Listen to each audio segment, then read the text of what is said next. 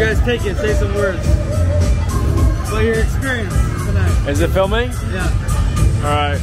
What are your experiences of Nick? What do you think? You've met him tonight. What do you think? Uh, Be honest. Be brutally honest. You're never gonna meet him again. what are you thinking? Say anything. Yeah, he's if not- he's a dick, you can say it. yes, he's naughty boy. He's a naughty boy. Yeah, What? naughty boy. That's it? What else? Lay it on him. Go hard. Go Yeah. hard. He's sexy. He's, sexy? Yes, Okay, strong. okay, okay. Yes. Strong, Yes, sexy. yes. You don't think I'm boy. nice at all? Oh, nice too. What else? What else? Don't listen to him. Say whatever you mean. Oh, okay. Say whatever you mean. I don't know. Anything. You know something. You know something. You want Uh, to what do you think of me? I think I think you go your own path. I think I think you're a copycat of Andrew Tate without being a copycat.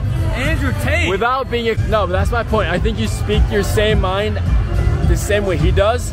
I'm, I'm not saying your views are aligned. I'm not saying you're the same person. I say you speak your mind the same the way he does, and I think you captivate your audience the same way he does. I think by being your truthful self, I think you captivate your audience, and I think you resonate with a lot of young men today because I think a lot of young men today are trapped in society's hamster wheel or you're trapped within whatever society tells them is the normal way of thinking things. And I don't agree with a lot of things you say right now. Being 22, being 27, I think there might be an age difference. There might be, there might not be. We might just be different. Uh, but I think you respect my viewpoints, and I think you respect me asking you questions and disagreeing to some extent. And I respect that with you. You're not, you're not focused on being right 100% of the time. You're focused on saying your mind, saying your piece. If someone else has something else to say, they can say it. You can listen. You can appreciate it. But you're not going to change who you are. I'm not going to change who I am. We can have an open dialogue and we can exchange opinions, and we're not going to change anything about that. And I think you're cool. Living life, traveling the world, meeting new people, having an open mind, meeting flower girls saying flowers. You can talk to prostitutes. You can talk to me traveling with my sister. You can talk to her traveling alone. You can talk to whoever you want and have a respectful, normal conversation and still sleep good at night, knowing you did the right thing and not, I don't know, losing your values. Beautifully spoken. Last thing for the recording. Yes. When you first met me, what did you think of me? I thought you were cool. You reached out to me. I was going back to my apartment. You didn't say anything. You just said, "What, what, what's up, dude? Let's talk." Invited me to hang out.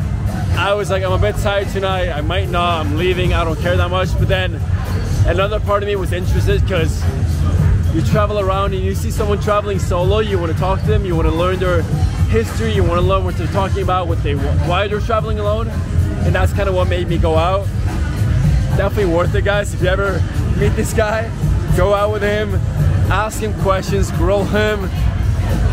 Um, Hey, also, Yeah. also, also. You told me you're going through a little something. Has tonight helped you out a little bit? I told him I'm going through a heartbreak. My first ever, never gone through that before. I'm 22 years old, and going out, it didn't change anything, but I really think it made me view things differently.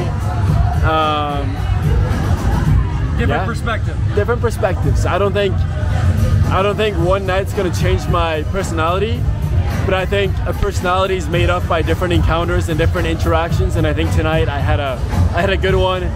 I learned a lot. I'm I'm left with a bunch of different intera- uh, different uh, perspectives, and, And books.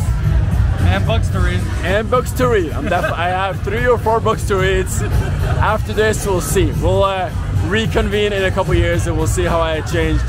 But for now, it was a it was a great experience. I, I'm not regretting it at all, and I en- encourage everyone viewing this to take a beer or a few beers with this guy. Or just meet new people and have a good time. You know what I mean? Beautiful. Absolutely. You only live once. Live bold.